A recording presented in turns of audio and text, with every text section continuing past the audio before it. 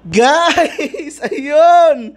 Kinikilig ako! Kinikilig si Mark!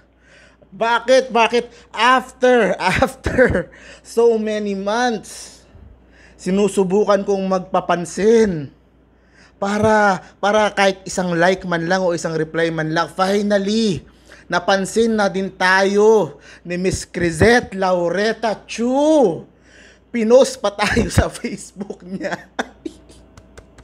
ay my heart my heart hindi eh, hindi ko kinakaya hindi ko kinakaya ay kak- kakabasa ko lang kaka kakakita ko lang kaka-reply ko lang actually Sobrang kinikilig ako. Sobrang kinikilig ako. Parang tanda-tanda ako na para kiligin. Pero, ganun talaga. Love is in the air. Nako. Feb, ah, parang, nung una ayoko mag-February eh. Pero ngayon excited na ako. Parang February. I'm so excited for Feb- February. Pero, ayun. Na, ah, ang nangyari, pinadala yung YouTube ko sa kanya ng kanyang ah, nanay. Okay. Si Tita! Si Tita. Shout out kay Tita. Maraming salamat sa pag-share ng video kay Crisette. Pero, pero kasi may joke na sinama si Tita. So, nag nagkamali ng, nagkamali ata ng intindi itong si Miss Crisette. Siguro hindi niya pinanood yung video eh. Ah, ang nabasa lang niya yung joke. Okay? Kasi parang yung joke yata nung kanyang mami, ha, invite ka ni Isko, anong kulang na display daw doon sa Manila Zoo. So akala niya, parang binabash ko, akala ni Crisette, binabash ko siya sa kulang ng ah, animal sa Manila Zoo. So kaya siya ini-invite. Pero napanood nyo naman yung video na yun, naka-post naman dito sa channel natin. Walang ganun, walang ganun syempre. So, so, basahin natin yung caption ni Miss Crisette tapos ah, babasahin ko sa inyo yung aking reply, okay? So, sabi niya, My mom sends me this video of an Isko supporter vlogger inviting me to Manila Zoo. Sabi niya, pinapapunta daw ako ni Isko sa Manila Zoo kasi kulang daw ng animals doon. Eh sabi naman ng mama niya, joke eh. Yung mama niya yung nag-joke. Wala kaming sinasabing ganun. Sa mga galit sa akin, dahan-dahan kayo ng mga sasabihin tungkol sa akin.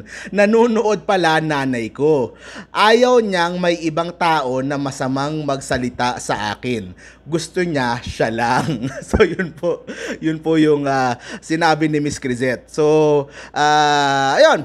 Ah, I clarified, I clarified kasi kasi baka isipin niya, ako talaga, ah, sa akin talaga nang galing yun o, o kay Mayor Isko talaga yun nang galing yun. So nag-comment ako. Ito yung aking kinoment guys. Masayang masaya ang puso ko at napansin na rin ni Miss Crisette. Huwag kang maniwala sa fake news dahil puro papuri at magagandang salita ang maririnig mo sa channel ko tungkol sa'yo. Totoo naman yon, totoo naman yon. Kahit panoorin nyo lahat ng mga video ko about her. Oh, in-invite ko siya uli. I want to invite you sa Manila Zoo, not as an animal, but as my VIP guest. I think may slot kami sa second uh, Monday of February. Ayun, oh. Compute nyo. Second Monday of February. Anong date yon? O, compute kayo na ba lang mag-compute. I think baka yun lang yung bakante, yun lang yata yung bakanting schedule sa Manila. So, yun lang ata yung available eh. A second Monday of February. Ayan, so, but anyway, uh, PS, hi mo pala ako kay tita. O, So, yun yung sa akin sinabi. Nag-shoutout din ako kay tita. Thank you very much. Dahil siya pa ang nagtulay na makaabot kay Miss Crisette yung aking video yung aking video na niyayaya siya sa Manila Zoo. Gusto natin siya makasama sa kahit kahit sino ang suportahan niya sa pagkapangulo. 'Di ba? Alam natin si Miss Crisette kinukwento ko anyone but Lenny eh. So minsan pinupuri niya si Isko, minsan pinupuri niya si Ping, pinup basta anyone dun sa mga tumatakbo, wag lang si Lenny. So yun yung kanyang ah, political stand. Pero kahit sino pa, kahit sino pa ang iyong ah, piliing suportahan, eh Miss Crisette, welcome na welcome. Yun lang ang aking gustong sabihin. Welcome na welcome.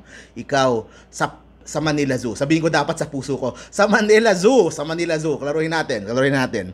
Ah, tapos, nag-comment pa ako isa pa sa baba.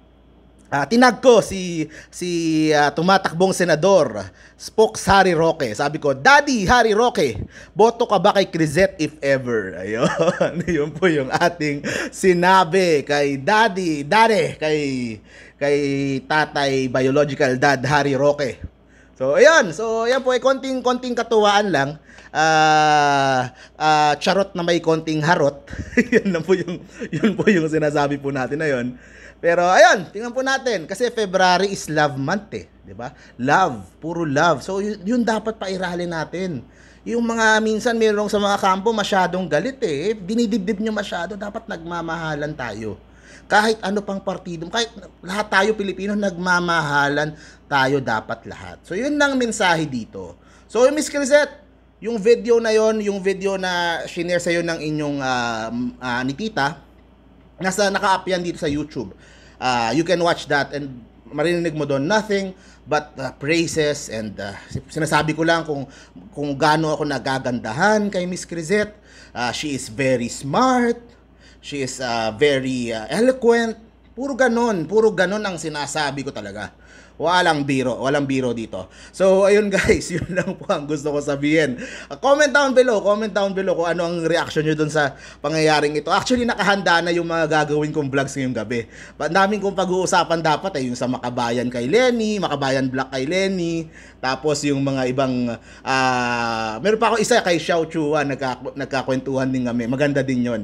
O mamaya ko na, mamaya ko na iba-vlog yung kasi ma- masyado pang ano eh, na, na masyadong na-excite yung aking puso eh. Talagang ah iba, iba yung iba yung nararamdaman parang ah talagang talagang ah, parang iba yung overjoyed. Yun ba? Yun yung feeling. So, ayun. Thank you very much. Salamat sa pag-post, Miss Crisette. Thank you very much. Um, ayun. Yun lang, yun lang. Huwag kang maginiwala sa fake news. Sa channel ko, walang pwedeng manglait sa'yo, walang pwedeng mang-asar sa'yo dito sa channel ko. Kahit sino, ibablock natin yan. Ibablock natin. Ibablock akong pakialam.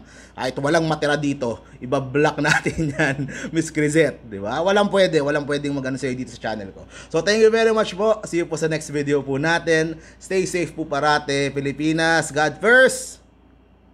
Bye-bye guys.